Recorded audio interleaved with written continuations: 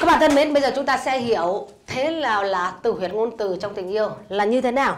Là là chúng ta dùng những dạng ngôn từ để giúp bạn có thể thôi miên bạn đời chúng ta trong trạng thái tỉnh.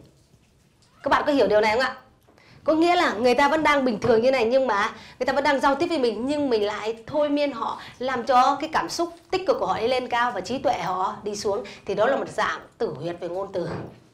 Và chúng ta thôi miên họ trong trạng thái tỉnh, không phải trạng thái mơ.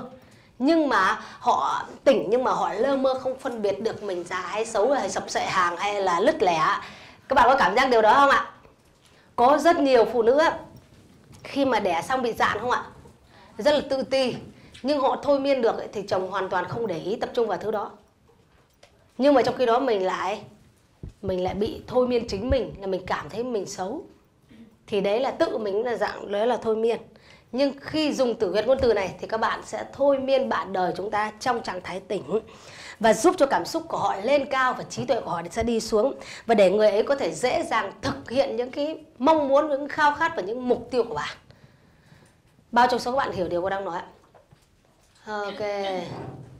Hai tay với người bên cạnh và nói rằng, dùng tử huyệt ngôn từ. Ok, phụ nữ lãnh đạo bằng yêu thương là phụ nữ có mục tiêu rõ ràng trong ngôn từ. Nha, phụ nữ lãnh đạo bằng bằng yêu thương thì là phụ nữ có mục tiêu rõ ràng, có sức ảnh hưởng với chồng và có khả năng truyền động lực, nhưng phụ nữ lãnh đạo bằng ngôn từ là phụ nữ có mục tiêu rõ ràng trong ngôn từ nha. Là phụ nữ rõ ràng trong ngôn từ và có khả năng truyền động lực cũng bằng ngôn từ và có sức ảnh hưởng đối với chồng mình cũng bằng bằng ngôn từ.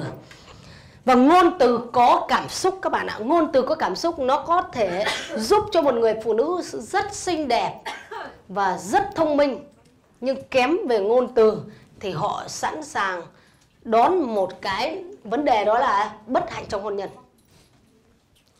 Nhưng nó cũng có thể giúp cho một người phụ nữ mà bình thường và nhan sắc và chỉ số IQ bình thường là khiêm, thậm chí là khiêm tốn, nhưng trở thành một người đàn bà, quyền lực cũng chỉ vì ngôn từ. Ngôn từ có cảm xúc đến mức độ như vậy đấy là các bạn ạ.